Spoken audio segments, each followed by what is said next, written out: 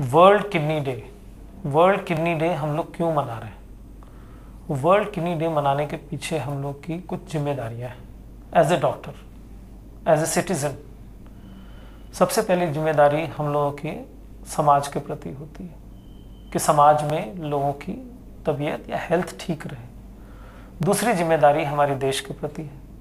तीसरी ज़िम्मेदारी हमारी विश्व के प्रति है। और चौथी ज़िम्मेदारी हमारी पृथ्वी के प्रति ये चार जिम्मेदारियों के कारण हम लोग ये वर्ल्ड किडनी डे मना रहे हैं।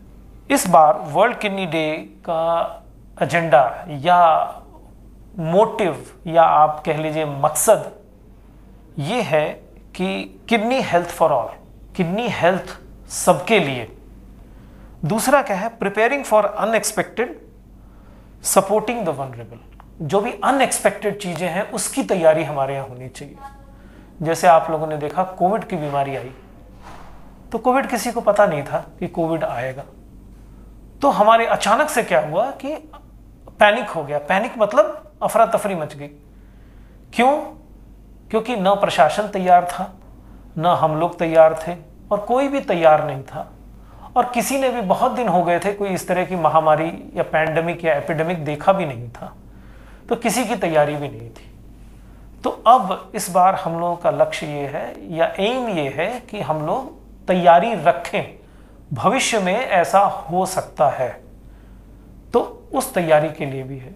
इसमें किडनी के पेशेंट्स को भी बहुत नुकसान हुआ। ट्रांसप्लांट वालों को भी और गैर ट्रांसप्लांट वालों को भी। क्योंकि आपको पता है कि कोविड की बीमारी में किडनी की बीमारियाँ एग्रवेट हो जाती हैं या बढ़ जाती हैं। और कई को तो जान का खतरा हो गया। कई किडनी की बीमारी वाले कोविड के साथ इस दुनिया में नहीं है। तो ये बड़े दुख की बात। है तो उसी की तैयारी होनी चाहिए। अब ये अनएक्सपेक्टेड चीज़ें क्या होती हैं? जैसा सबने देखा अनएक्सपेक्टेड चीज़, जैसे कोविड आया। कोविड 19 आया। ये अनएक्सपेक्टेड चीज़ थी। दूसरी अनएक्सपेक्टेड चीज़ होती है अर्थक्वेक भूकंप। आप देख रहे हैं टर्की में आया। बहुत सारे लोग भूकंप के बाद अजीब सी बीमारियों से मरते हैं। या किडनी के बीमार वाले ज़्यादा बीमारी से मर जाते भूकंप के अलावा आप यदा कदा देखते होंगे, बाढ़ आ जाती है। तो इन सब की तैयारियाँ होनी चाहिए कि इनमें अगर हम मरीजों के साथ किस तरीके से जो सीरियस होंगे, उनको एडमिट करेंगे, इलाज करेंगे और उनके साथ व्यवहार करेंगे। तो ये डॉक्टर के लिए भी है, प्रशासन के लिए भी है और देश के लिए भी है। तीनों की तैयारी होनी चाहिए। इसलिए किडनी डे मनाया जाता है। तीसरा वार, लड़ाई आप देख रहे हैं ना, यूक्रेन और रशिया में हो रहा है। इसमें भी सबसे ज़्यादा सफ़र बीमार आदमी करता है। न वो भाग सकता है, न वो अस्पताल जा सकता है। डर के मारे उसकी बहुत सारी चीज़ें। इन सब चीज़ों में हम या हमारी तैयारी कैसी होनी चाहिए? वार भी लोग देख चौथा एक्सट्रीम वेदर यानी कि बहुत ज़्यादा गर्मी बहुत ज़्यादा सर्दी। आप देख रहे हैं, अब जो वेदर चेंज हो रहा है, इसके हिसाब से इस तरह की चीज़ें होंगी। बहुत ज़्यादा गर्मी पड़ेगी। बहुत ज़्यादा गर्मी पड़ने से आप देखेंगे किडनी के पेशेंट को क्या होता है? डिहाइड्रेट हो जाता है। डिहाइड्रेट होके उसकी बाकी तकलीफ़ें शुरू हो जाती है। किडनी की रिपोर्ट्स बढ़ जाती हैं, उसको उल्टी शुरू हो जाती है, उसको फीवर के कारण और बहुत सारी तकलीफ़ें शुरू हो जाती हैं। कई जगह आप सर्दी करके देखेंगे। विश्व के दूसरे कोने में आप सर्दी करके बीमारियाँ देखेंगे। जिसको लोग कहते हैं आइस स्टॉम्स आते हैं एक्सेसिव स्नोइंग के कारण जो प्रॉब्लम होती है तो इन सब चीज़ों के चलते तैयारी होनी चाहिए। जैसे जैसे आप वेदर चेंज देखेंगे, ये सब चीज़ें होती हुई आपको नज़र आएँगी। अनएक्सपेक्टेड तरीके से आप देखेंगे कि ये चीज़ होगी। तो इन सब की तैयारी होनी चाहिए। अब आ जाते हैं हम लोग शांति काल में। जब ये सब चीज़ें नहीं हो रही हैं तो किडनी के प्रति इतना सजग होने की क्या ज़रूरत है? विश्व में अभी 850 मिलियन किडनी के बीमार लोग हैं। आपने ठीक सुना है 850 मिलियन। एक मिलियन यानी कि 10 लाख। तो आप सोचिए कितने किडनी के मरीज़ हैं। और इतने मरीज़ होने का कारण है। अभी जो कारणों में सबसे बड़ा कारण जो हम लोग को देखने में आ रहा है, वो सबसे बड़ा कारण शुगर है, डायबिटीज़ जिसको हम लोग कहते हैं। दूसरा है ब्लड प्रेशर ब्लड प्रेशर की बीमारी। तीसरा है, हिंदुस्तान के इस हिस्से में देखते हैं, वो है स्टोन की बीमारी, पथरी, गुर्दे की पथरी। चौथी या पांचवी अन्य बीमारियाँ भी है। ऐसा नहीं है कि चौथी, पांचवी अन्य बीमारियाँ नहीं, और भी बीमारियाँ लेकिन ये मेन आप समझिए। अब ये बीमारियाँ बढ़ क्यों गई इतनी? बीमारियाँ बढ़ने का कारण क्या है? तो सबसे बड़ा कारण जो है हमारा लाइफस्टाइल परिवर्तन, या हमारी जीवन शैली में बदलाव। अब आप कहेंगे, जीवन शैली में बदलाव क्या था? देखिए, हम हिंदुस्तानी एक कृषि प्रधान देश थे। हमारे देश में खेती बाड़ी या कृषि आप कह लीजिए, वही मेन होता था। कृषि में आपको पता है कि शारीरिक काम बहुत ज़्यादा होता है। तो हम शरीर से काम लेते थे। शारीरिक काम बहुत होता था। इतनी मशीनें भी नहीं थे, इतने ट्रैक्टर, इतनी मशीनें, इतनी सारी चीज़ें नहीं थी तो शारीरिक काम था। तो शारीरिक काम के तहत हम लोग को बीमारियाँ इतनी ज़्यादा, ये शुगर बीपी बहुत कम था। आदमी शरीर से मेहनत करता था, खाता था और आराम से रात को सोता था। ये तीनों चीज़ें थी। अब ये धीरे धीरे आप देख रहे हैं, कृषि की प्रधानता कम हो रही यानी कि जो वर्ल्ड इकोनॉमी है, वो एग्रीकल्चर से मतलब एटलीस्ट इंडिया में तो नॉन एग्रीकल्चर बेस्ड इकोनॉमी धीरे धीरे बनती जा रही यानी कि हमारा ध्यान खेती की तरफ़ से हट के दूसरी इंडस्ट्री की तरफ़ जा रहा है।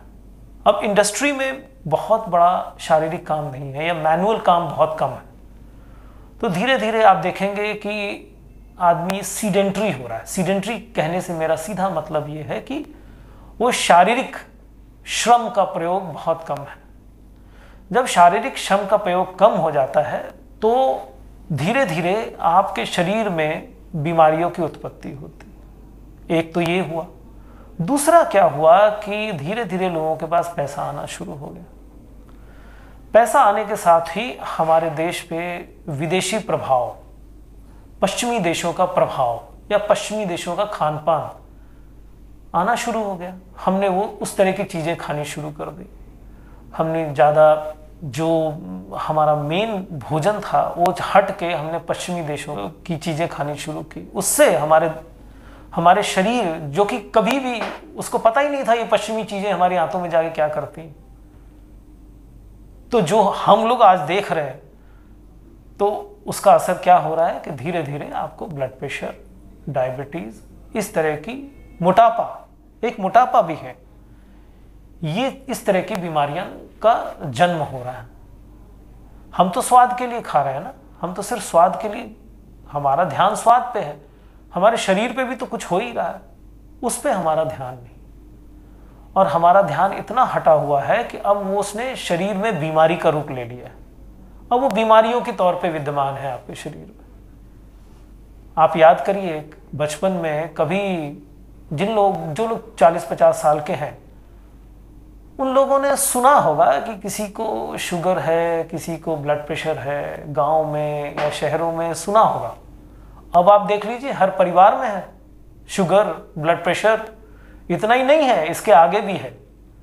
किसी को हार्ट की बीमारी है, किसी को मोटापे की बीमारी है, मोटापे कारण घुटनों में बीमारी है, किसी को किडनी की बीमारी है, किसी को कैंसर है, किसी को कैंसर है, ये सब बीमारियाँ होनी शुरू, किसी को सांस की बीमारी हो गई। तो ये सब बीमारियाँ आप आपको देखने को मिल रही तो सबसे पहले मैंने कहा कि सीडेंट्री लाइफस्टाइल दूसरा खाद्य पदार्थ, तीसरा मानसिकता। हमारी मानसिकता पे भी बहुत प्रभाव पड़ गया है। अब आप देखिए, अब आपका मन कैसा हो गया है? मैं आपको अपने एक्सपीरियंस या अपने अनुभव की बात बताता हूँ। मुझे याद नहीं होगा, बचपन में मैंने शायद कभी देखा हो कि मानसिक रूप से बीमार आदमी हो। लेकिन अब आप देख लीजिए, मानसिक बीमारियाँ कितनी ज़्यादा हो रही मैं आपको सिर्फ़ अपने शहर के साइकेट्रिस्ट बता सकता हूँ। मुझे किसी मानसिक रोग का इलाज करने वाले साइकियाट्रिस्ट हम लोग कहते हैं। उसने मुझे बताया कि, सर, आपको पता है कि हमारे छोटे से शहर में कितने साइकेट्रिस्ट हैं? बत्तीस साइकेट्रिस्ट बत्तीस साइकेट्रिस्ट मतलब बत्तीस लोग कम से कम मानसिक रोगों का इलाज कर रहे हैं। और सबके पास ऐसा नहीं है कि कोई खाली बैठा है, काफ़ी मरीज़ है लोगों के पास। तो इन सब चीज़ों के साथ साथ मानसिक बीमारियों का भी उद्भव हो रहा है। यानी कि मानसिक बीमारियाँ भी लोगों को लग रही और कभी आप ये नहीं समझना कि जो मानसिक बीमारी है, वो शरीर को नहीं असर करती। मन भी आपका शरीर ही है। शरीर भी मन है और मन भी शरीर है। दोनों इकट्ठा है। अगर आपके मन में कोई तकलीफ़ होगी तो आपके शरीर को असर करेगी। और शरीर में कोई तकलीफ़ है तो आपके मन को असर करेगी। जैसे सीधी बात आप समझ लो। अगर आपको धीरे धीरे एंजाइटी हो रही है या आपको कोई सिचुएशन में आप अपने आप को एडजस्ट नहीं कर पा रहे तो धीरे धीरे आपका बीपी बढ़ेगा। और जब बीपी बढ़ जाएगा तो आपको शारीरिक तकलीफ़ होगी। या शरीर में तकलीफ़ होगी तो धीरे धीरे बीपी भी बढ़ सकता है आपका। तो शरीर और मन एक ही चीज़ है, इसके दो हिस्से करके आप ना समझें। तो शरीर और मन दोनों में तकलीफ़ हो रही है। इसको हम लोग डिज़ीज़ का साइकोसोमैटिक कारण बोलते हैं। डिज़ीज़ को साइकोसोमैटिक कारण बोलते हैं। तो आप ये मत समझना कि जो बीमारी मेरे सिर्फ़ शरीर में है, वो मेरे मन में नहीं है। वो आपके मन में भी है। एक सर्वे के अनुसार आप देखिए कि हिंदुस्तान में अब 25 से 30 परसेंट लोगों को नींद के लिए कोई दवाई का या शराब का सहारा लेना पड़ता है।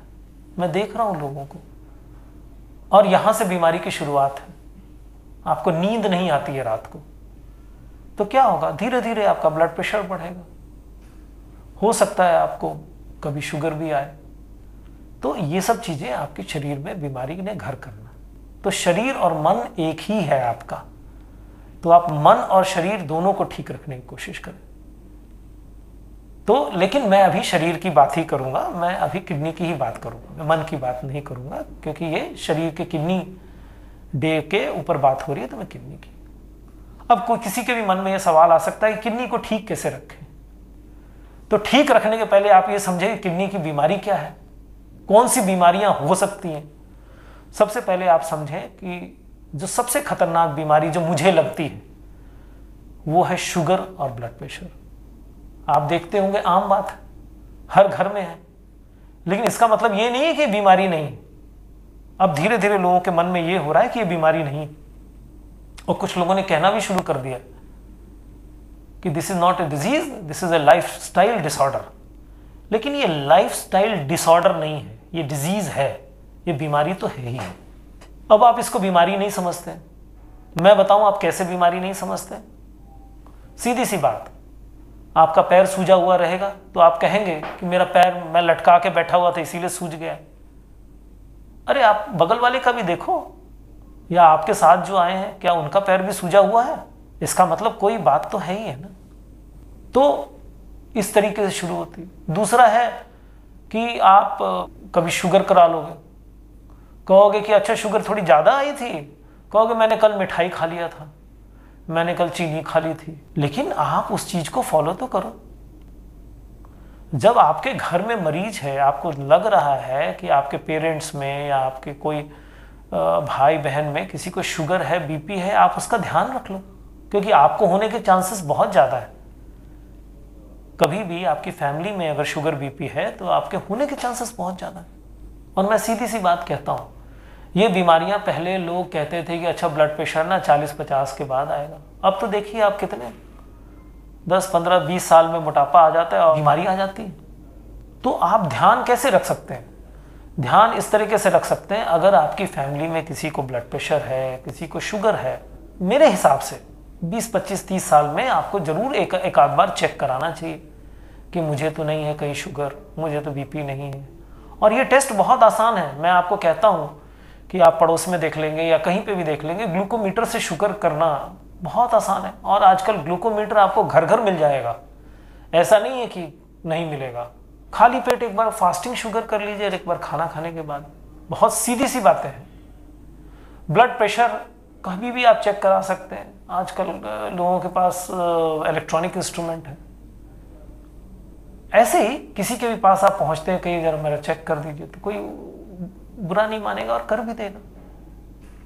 जबको आपको पता है कि आपके घर में ब्लड प्रेशर के मरीज़ हैं तो कोई दिक्कत नहीं चेक कराने में। और वैसे भी मान लीजिए आप लैब पहुँच गए, आपने कहा मेरा यूरिन चेक कर दो भाई, और मेरा ना एक सीरम क्रेटनिन या ब्लड यूरिया चेक कर। दो बहुत सस्ते टेस्ट हैं, कोई महँगे नहीं, आराम से हो जाते हैं। चलिए आपको पता नहीं चला बीमारी हो गई। तो आप प्रॉपर किडनी स्पेशलिस्ट के पास जाए। अगर आपको लगता है कि किडनी स्पेशलिस्ट को दिखाना चाहिए, और दिखाना बिल्कुल चाहिए। आपका किडनी सीरम क्रेटनिन टू हो गया है, टू पॉइंट फाइव है, थ्री है तो आपको आजकल तो आप देखते होंगे टेस्ट में आपको खुद को मार्क करके डाल देते हैं कंप्यूटर्स लो हाई आप देख लीजिए रेंज बहुत सारे लोग इस तरह से रेंज देख लेते हैं और प्रॉपर स्पेशलिस्ट को दिखाएँ। इस चक्कर में ना रह जाए कि मैं दिखाऊँगा तो बीमारी निकलेगी। अरे भाई, शुरुआत में आपकी बीमारी जो भी है थोड़ा मोड़ा कोई दवाई देनी पड़ती है। कोई बहुत ज़्यादा दवाई की ज़रूरत ही नहीं होती। बस निगरानी की ज़रूरत होती। ये चीज़ का आप ध्यान रखें, निगरानी का तो मेरे हिसाब से आप हमेशा ये दो बातों का ध्यान रखें, शुगर और बीपी। अगर आप शुगर, बीपी का ध्यान रख ले रहे हैं तो बहुत है। तो बड़ी बड़ी बीमारियों से तो छुटकारा है। और तीसरी चीज़ आजकल जो है वो मोटापा है। ये चीज़ का आप ध्यान रख लीजिए। क्योंकि मोटापे से भी शुगर, बीपी हो सकता है। आप देखेंगे पहले आदमी मोटा होना शुरू होता है, फिर उसको शुगर बीपी होना शुरू होता है। और ये शुगर बीपी ने सारी बीमारियों को जन्म देना है। सारी बीमारियाँ इसी से हो रही हैं, चाहे वो किडनी की हो, ये हार्ट की हो, फेफड़े की हो, दिमाग की हो, चमड़ी की हो, या ब्लड वेसल्स की हो, नसों की हो। सारी बीमारियों की जन्मदाता तो यही है। तो आपको ये तो ध्यान रखना ही है इन सब बीमारियों का। और सीधी छोटी छोटी चीज़ें हैं। देखिए, कोई बड़ी चीज़ करने की कोई ज़रूरत नहीं है। बहुत बड़ी बड़े टेस्ट, बहुत बड़ी बड़ी चीज़ करने की ज़रूरत नहीं। यूरिन का एक सीधा सा टेस्ट है। एक ब्लड का सीरम क्रेटनिन है, जो कि ब्लड यूरिया क्रेटनिन आप करा लेते हैं। अच्छा उसी से आपको ये भी पता चल जाएगा कि आपका किडनी फ़ंक्शन कितना है। किडनी फ़ंक्शन नापने के लिए लोग कहते हैं G F R glomerular filtration rate G F R अच्छा ये भी आपको कैलकुलेट करने की ज़रूरत नहीं है, हिसाब लगाने की कोई ज़रूरत नहीं है। ये आप, आजकल ऐप है, उस ऐप में आप अपना क्रेटनिन डाल दें, वज़न डाल दें, अपनी एथनीसिटी आप एशियन है, वो डाल दें, और कई में हाइट और वेट भी मांग मतलब हाइट वेट होता है, उसमें ऐप में डाल दीजिए, अपने आप आपको किडनी फ़ंक्शन बता देगा। तो ऐप लोगों ने बना दिए। इससे आसान चीज़ और सही चीज़ क्या हो सकती? आप ऐप में अपना क्रेटनिन डालें वेट डालें, कहीं पे हाइट की ज़रूरत होती, डालें और रेशियन डालें, काम खत्म मेल फीमेल डालें। आपका किडनी फ़ंक्शन भी बता देगा। तो ये सब चीज़ें आप घर बैठे कर सकते हैं। ये सब चीज़ें के लिए अस्पताल आने की ज़रूरत नहीं या आप ये देखें कि आजकल होल बॉडी टाइप के टेस्ट लोग करा रहे हैं। 400-500 रुपए में किडनी प्रोफ़ाइल हो जाता है। आप करा लीजिए। हार्ट प्रोफ़ाइल किडनी प्रोफ़ाइल इसमें आ जाती है चीज़ें। तो इतना आसान हो गया आजकल कराना।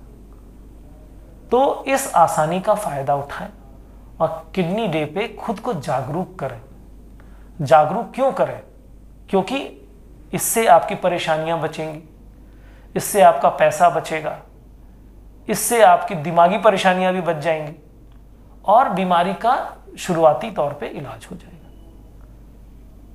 देखिए, हमारा उद्देश्य सिर्फ़ ये है, हमारा उद्देश्य सिर्फ़ ये है कि समाज में बीमारी रहित समाज हो। बीमारी रहित समाज हो, बीमारी रहित देश हो और बीमारी रहित ये धरा हो। हमारा मतलब सिर्फ़ इसी चीज़ों से इसीलिए आज के दिन खास तरीके से हम लोग ये बोलते हैं।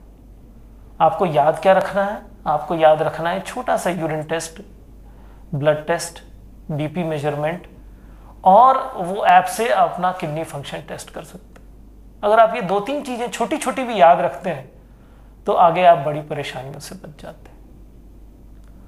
और इन सबसे आगे एक चीज़ और आपको याद रखना है कि आपको ज़िंदगी में इंश्योरेंस ज़रूर कराना है। क्यों? आजकल हर बीमारी का खर्चा ज़्यादा है। हेल्थ इंश्योरेंस इंश्योरेंस से मेरा मतलब है हेल्थ इंश्योरेंस होना बहुत ज़रूरी है। क्यों? अगर हेल्थ इंश्योरेंस होगा तो आपकी बीमारी का बहुत सारे नेटवर्क अस्पतालों में मुफ़्त इलाज भी होगा। और आजकल तो इस तरह के इंश्योरेंस आ गए हैं कि बाद में ओपीडी का फॉलोअप में भी आपका मुफ़्त हो जाता है। कई जगह एंबुलेंस सर्विसेज़ भी दे देते हैं लोग। तो अगर आपके पास इंश्योरेंस है तो आपकी ज़िंदगी बहुत आसान हो जाएगी। आप ये ना सोचें कि अगर मैंने इंश्योरेंस का प्रीमियम दे दिया है, मेरे को बीमारी नहीं हुई तो मेरे पैसे बेकार हो गए। उसमें कोई पैसे बेकार नहीं होते। आपकी हेल्थ सबसे बड़ी चीज़। है लोग कहते हैं ना, जान है तो जहान है। जान के बाद ही जहान है। अगर जान नहीं है तो फिर जहान का तो कोई मतलब ही नहीं है। तो इसीलिए इस किडनी डे पे आप ये समझें छोटे छोटे टेस्ट जो भी हैं वो कराएँ।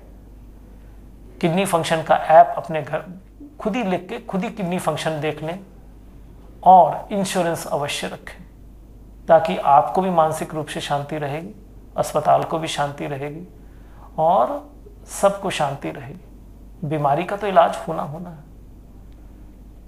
तो किडनी डे मनाने का मतलब सिर्फ़ इतना ही है कि आप खुश रहें, हम खुश रहे, ये देश खुश रहे, ये समाज खुश रहे।